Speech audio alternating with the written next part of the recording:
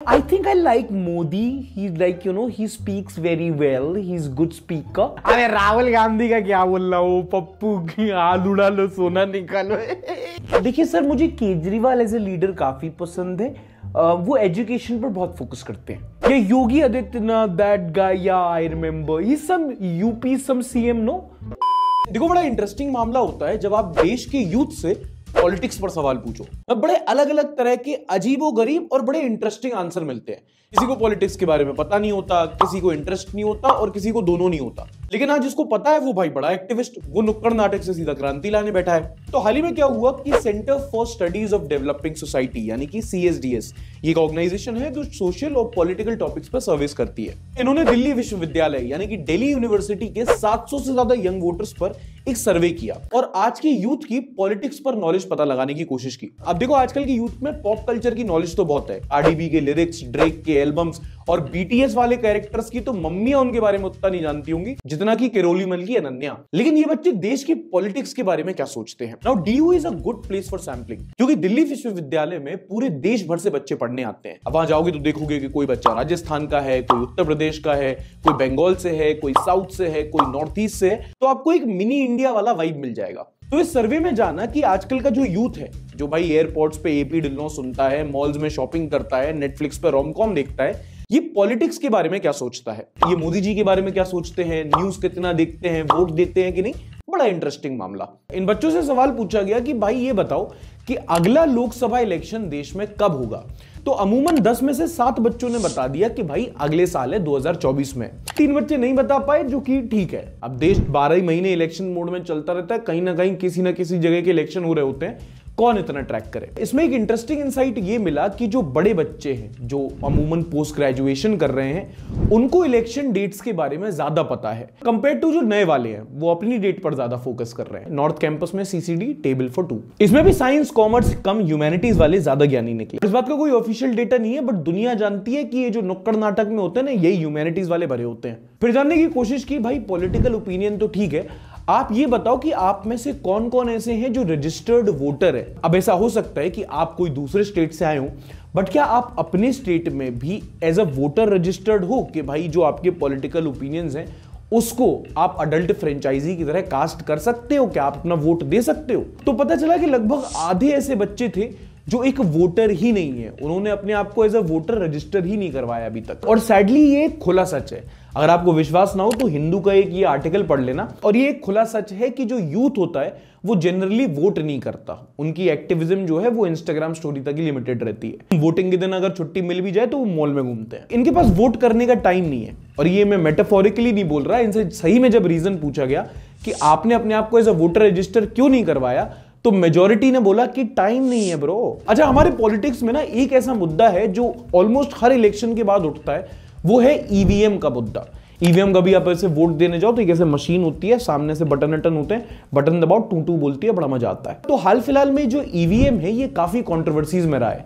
कई इलेक्शन के बाद ऑपोजिशन पार्टीज़ ने बोला है कि भाई इसको हैक कर लिया गया है मशीन को और इसमें कोई भी बटन दबाओ वोट बीजेपी को ही जाता है. कांग्रेस का बटन दबाओ, वोट बीजेपी को। सपा का दबाओ, वोट बीजेपी को। बासपा का दबाओ, वोट बीजेपी को।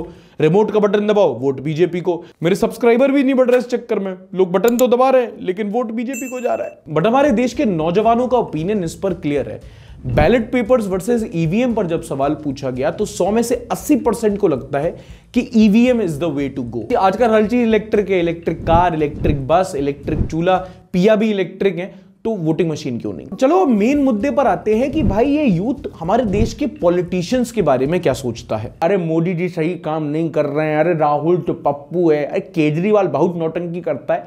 यही जो डिस्कशन होते हैं, जो अमूमन देश के पनवाड़ी के यहाँ पर होते हैं, यही सवाल जब यूथ से पूछे गए तो उनका इन मामलों में क्या ओपिनियन था? जानते हैं। देखो, अमूमन जब नेताओं का मुद्दा उठता है तो दो रिफॉर्म्स हैं जिन पर चर्चा होती है। एक है एजुकेशनल क्वालिफिकेशन कहते नहीं है कि नेता लोग तो अनपढ़ होते हैं। और अगर ये प्रॉब्लम है तो क्या कोई एक बेसिक एजुकेशनल क्वालिफिकेशन सेट कर देनी चाहिए एक नेता बनने के लिए? और दूसरा है रिटायरमेंट एज कि भाई जब सरकारी नौकरी में टाइम टू टाइम लोगों का फेयरवेल होता रहता है तो ये पॉलिटिशियंस सालों साल अपनी गद्दी पर क्यों बैठे रहते हैं? और इन दोनों मुद्दों पर यूथ की राय काफ़ी साफ़ है। लगभग 80 परसेंट से ज़्यादा का मानना है कि हाँ भाई, एक basic educational qualification twelfth pass हो अंडर ग्रेजुएट हो बट एक मिनिमम एजुकेशनल क्वालिफिकेशन पॉलिटिशियंस के लिए सेट की जानी चाहिए, ताकि इनको एजुकेशन और अनएम्प्लॉयमेंट दोनों इश्यूज़ का पता चले। और जहाँ तक बात रही है रिटायरमेंट एज की तो 75 परसेंट से ज़्यादा स्टूडेंट्स को लगता है कि हाँ भाई, एक रिटायरमेंट एज होनी चाहिए पॉलिटिशियंस की।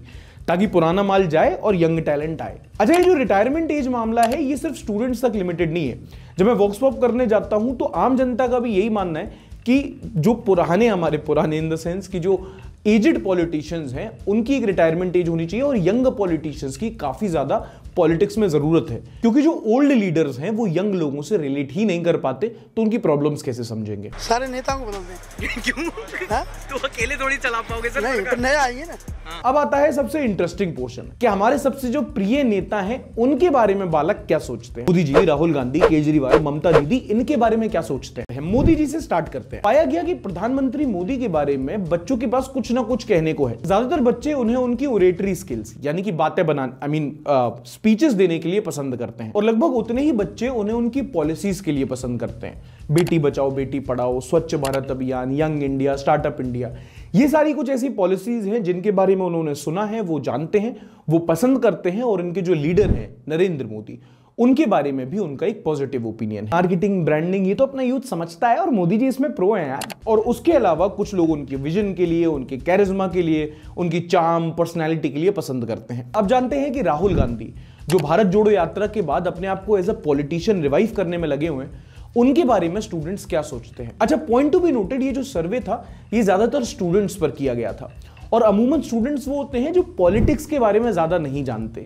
उन्हें नहीं पता कि कहाँ इलेक्शन चल रहा है, उन्हें नहीं पता कि इस टाइम पे कौन सा मुद्दा हो रहा है। वो अपने अभी स्टूडेंट लाइफ में ज़्यादा इन्वॉल्व होते हैं। जैसे जैसे लोग बड़े होते हैं, वैसे वैसे उनके पॉलिटिकल इंटरेस्ट और पॉलिटिकल ओपिनियंस और गंभीर होते जाते हैं। ना जब स्टूडेंट से पूछा गया कि राहुल गांधी के बारे में ऐसा क्या है जो उन्हें पसंद है तो तीस परसेंट से ज़्यादा स्टूडेंट्स ने बोला कि उन्हें कुछ नहीं पसंद है न्यूट्रल एंड नाउ ये कांग्रेस के लिए काफ़ी सीरियस बात है।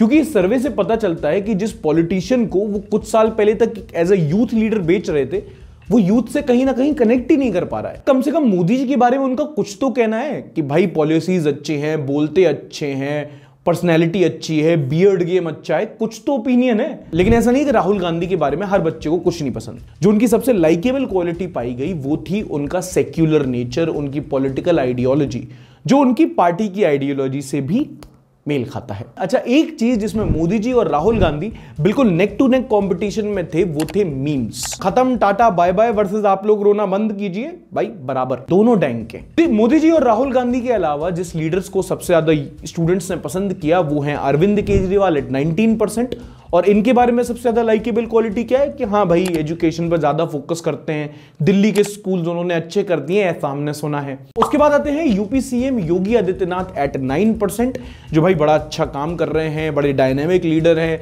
नाम वाम बदल देते हैं। और भाई, क्या एक्टिंग की है उन्होंने फास्ट इन द फ्यूरियस में? क्या करते हो अच्छी और फिर आते हैं road and transport minister Nitin Gadkari eight seven percent और सिर्फ़ ये स्टूडेंट का नहीं, आप किसी से भी जाके पूछोगे कि एक ऐसा लीडर जो आपको सबसे ज़्यादा पसंद है तो ज़्यादातर लोग आपको नितिन गडकरी का नाम लेंगे। नितिन गडकरी का काम है रोड एंड ट्रांसपोर्ट मिनिस्टर उन्होंने जो रोड इंफ्रास्ट्रक्चर बनाया है, उसमें लोगों को काफ़ी पसंद आया है। एक और इंटरेस्टिंग बात यह पता चली कि जब भी पॉलिटिक्स की बात आती है तो अमूमन लड़कों का इंटरेस्ट लड़कियों से ज़्यादा रहता है पॉलिटिक्स में विच मेक सेंस क्योंकि बड़े होकर अपन लोग ही अंकल बनेंगे। तो ये थे इस सर्वे के कुछ पॉइंटर्स इस सर्वे के लिए आप इन लोगों को थैंक यू बोल सकते हैं। उम्मीद करता हूँ आपको वीडियो मज़ेदार लगी होगी। अगर लगी तो लाइक ज़रूर करना और ऐसी ही इंफॉर्मेटिव और मज़ेदार वीडियोस के लिए चैनल को सब्सक्राइब करना मत भूलना। हाँ वो नीचे लाल बटन दिख रहा है ना, दबा दो। वोट बीजेपी को नहीं जाएगा।